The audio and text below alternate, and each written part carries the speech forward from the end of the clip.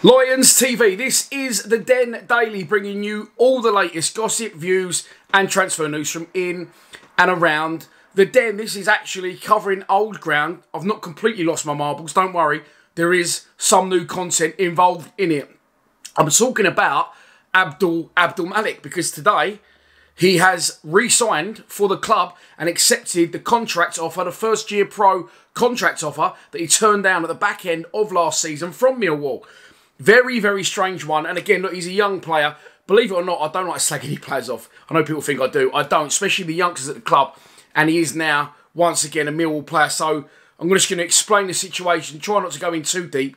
Although, if I'm honest, I'm, you know, I'm a little bit pissed off about it, as I'm sure many others are. So, Abdulmalik, uh, been a Millwall player for a long time. England under 15, 16, call him what you like. Very well known at the club and highly rated, having never kicked a first team football. So, it says a lot about him. He does come with a little bit of a reputation. His reputation does precede him. In the past, there's been rumours that he could go on to bigger and better things, i.e., Chelsea, Man City, the Arsenals of this world, etc., etc. Word of rumours. Um, I've seen a lot of him in the 23s. Okay, he was only a scholar at this point and not officially a first year pro, but I've also seen a lot of players from that sort of level. Um, including the players that have now gone on to sign the contracts that he originally turned down. I'm talking about the likes of Arthur Penny, Alfie Allen, Nana Boateng, who plays in a similar position to him. And and I honestly think he's back at the club now. I, I don't think he's that good, honestly. He's very short.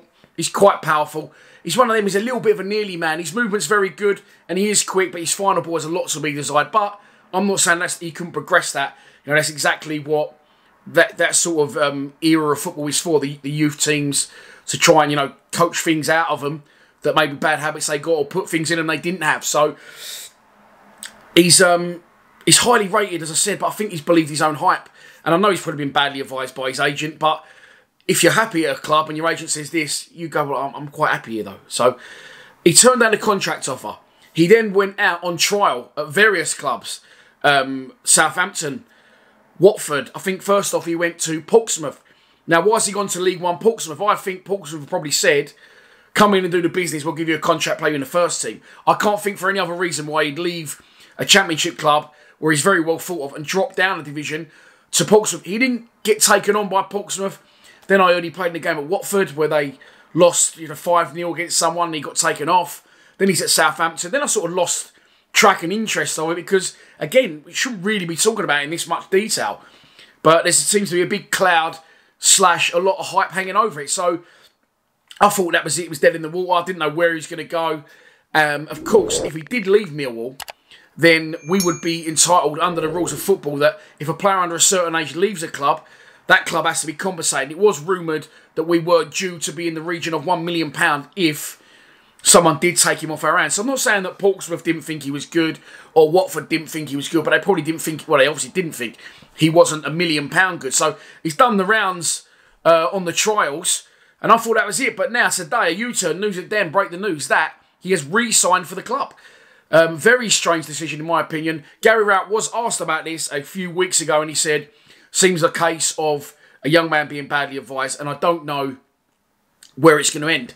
But it's ended with Abdulmalik doing a complete U-turn after being on trial, or two or three, four clubs maybe, um, and now he's come back with his tail between his legs. I don't know whether the agent's now gone, and he's being better advised. And they've said, you know, Mill said, we'll have you back, but can't have this agent around you. I'm not sure. But he is back at the club, and he's frustrating, yes. Okay, he's young, and we all make mistakes, especially when we're young. Uh, maybe it might bring him back down to earth a bit with a bang for a little bit because, as I said, I think he believes his own hype, and I honestly think he's not that good. And he'll probably end up in non-league if I'm honest. But we sign him for another year, so what happens then?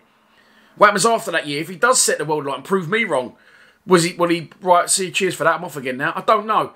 Very, very strange decision. There is a second cog in this wheel as far as I'm concerned. There's a, an under 23s player. He's a first year scholar now as well, I believe. Or he might still be a second year. I'm not sure. And his name is Tom Leahy. Now, his brother Jack was actually on trial for Millwall at the back end of last season.